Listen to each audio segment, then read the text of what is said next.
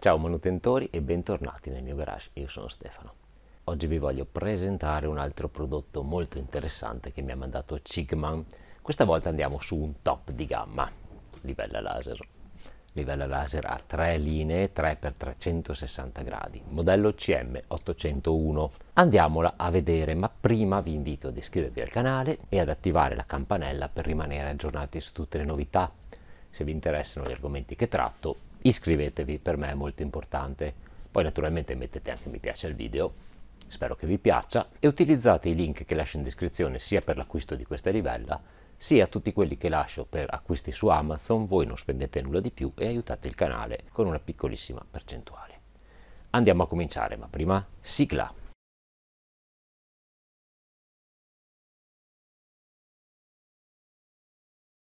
Bene, di Cigman avevo già provato diversi prodotti, diverse livelle, metro laser, anzi due metri laser, insomma è un produttore che a me piace parecchio perché fa dei prodotti seri a livello quasi professionale anche se i costi sono molto più bassi rispetto ai prodotti professionali però di ottima qualità. Quindi li presento sempre molto volentieri. Quindi apriamo la confezione e vediamo cosa c'è dentro. Bene eccola qua laser level cm801 apriamo subito la confezione Dentro c'è una bella custodia in cordura semirigida, brandizzata Cigman, con tracolla regolabile, tutto di ottima fattura. Apriamola. E all'interno che cosa troviamo? Cominciamo dagli accessori. Qui c'è un cavetto di ricarica USB, ovviamente di tipo C. Qui c'è un telecomando telecomando Bluetooth con portata fino a 10 metri. Libricino di istruzioni anche in italiano che consiglio sempre di leggere, anche perché qui siamo di fronte a un dispositivo laser di classe 2.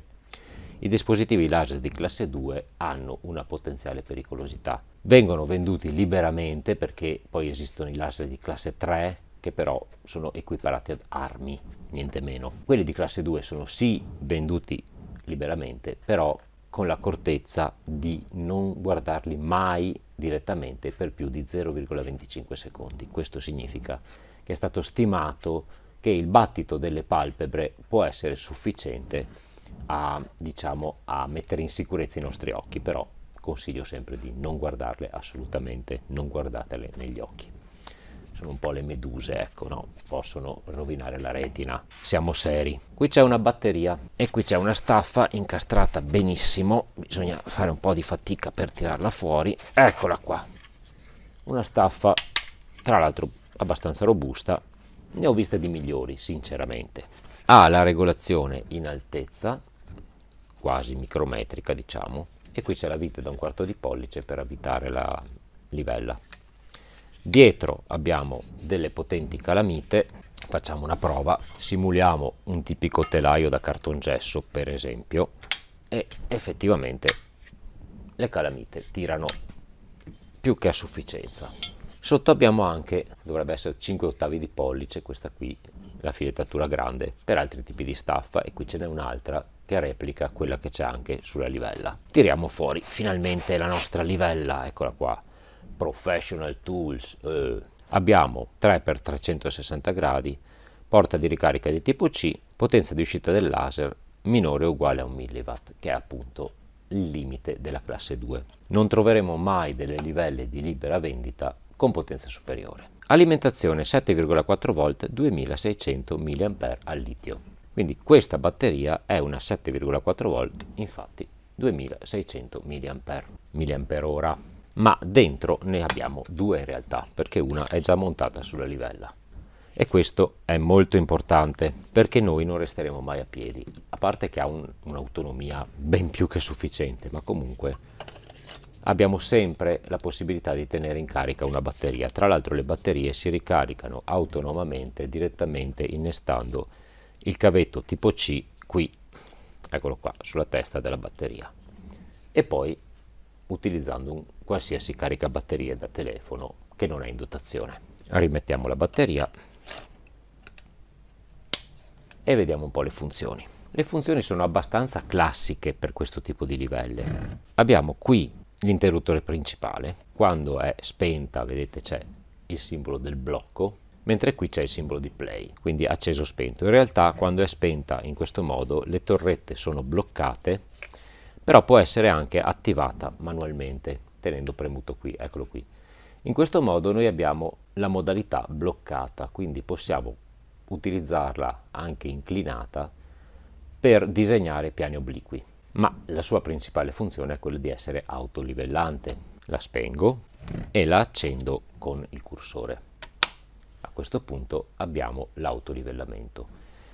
L'autolivellamento avviene con un'inclinazione del corpo macchina di più o meno 4 gradi, quindi quando la inclino più di 4 gradi inizia a lampeggiare velocemente per dirci che è fuori tolleranza. Quando invece i raggi sono continui vuol dire che è in tolleranza e sta autolivellando. Abbiamo la possibilità, guardate, di attivare separatamente i raggi verticali V1 e V2, qua ci sono i tasti V1 e V2, e poi c'è H horizontal. Non si possono spegnere tutte e tre.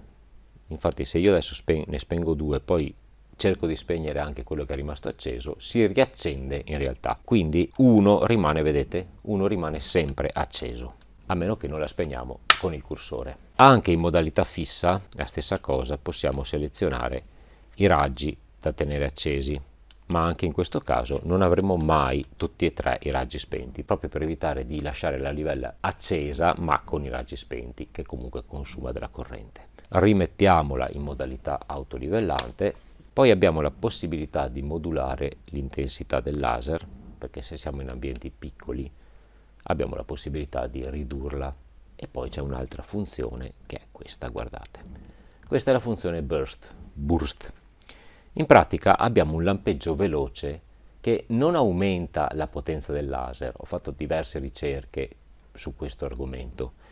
Non può aumentare la potenza del laser. L'idea che avevo io era quella che col lampeggio scendesse sotto ai limiti di, diciamo, di danneggiamento dell'occhio, nel senso che non stando sempre accesa, anche se avessimo incrociato il raggio con gli occhi, guardato direttamente il raggio, questo lampeggio evitava il danneggiamento degli occhi, anche se magari la livella andava ad un livello superiore, livello a livello, scusate, ad una potenza superiore. In realtà non è così, perché nessuna livella laser può essere venduta se supera il milliwatt di potenza del laser.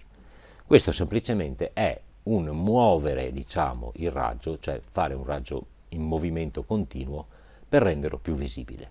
Un trucco, se vogliamo, per rendere più visibile il laser, ma non ne aumenta la potenza.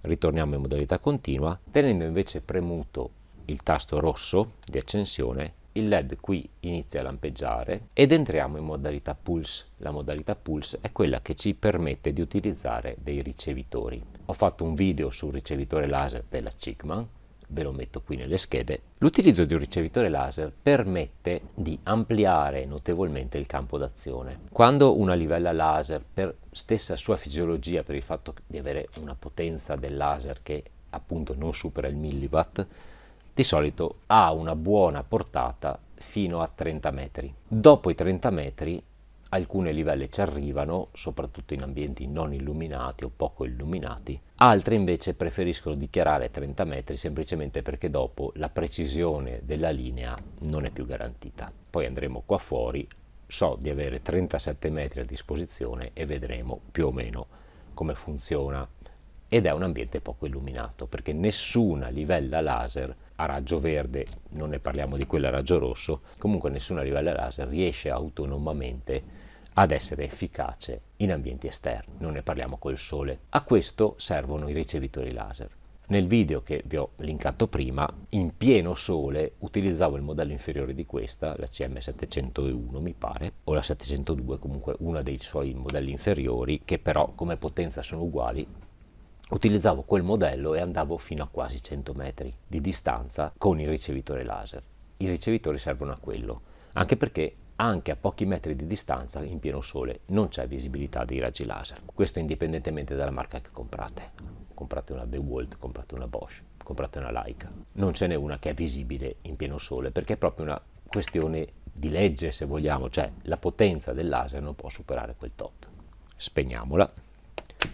Ecco, faccio notare che la differenza tra una livella seria e una mm, è anche il fatto di bloccare i laser nel momento in cui la spegniamo.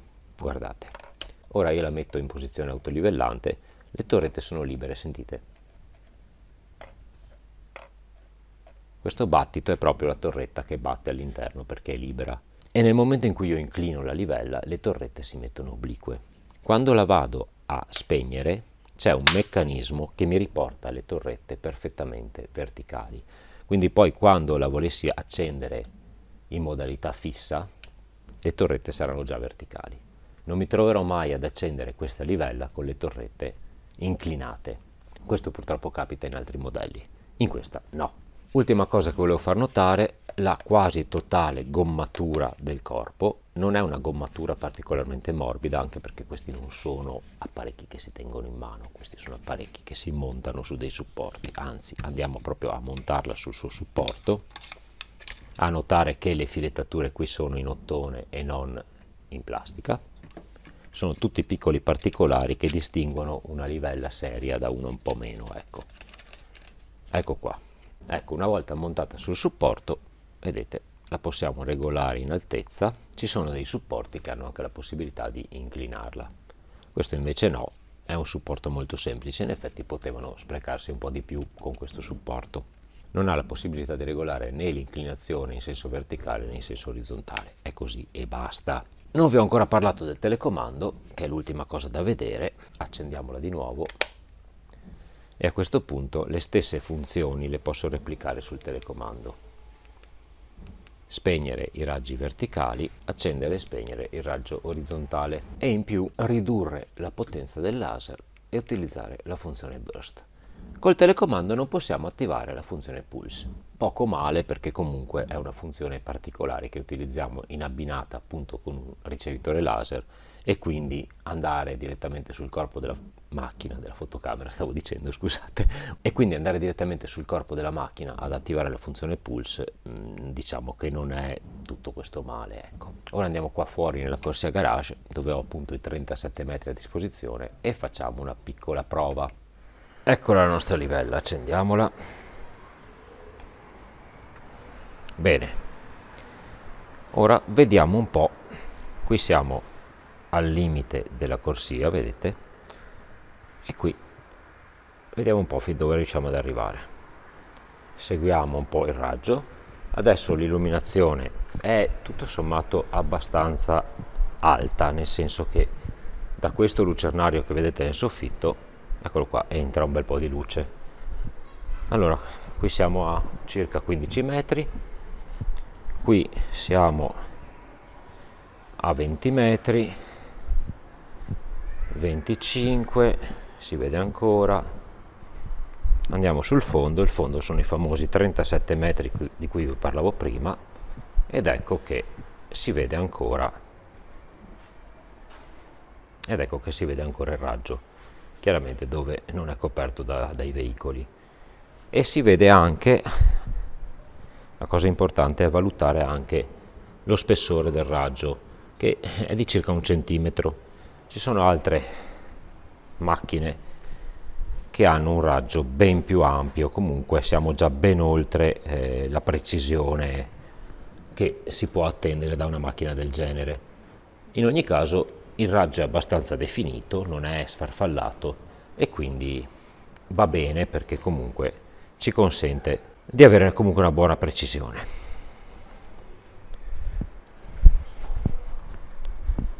eccola là la nostra livella.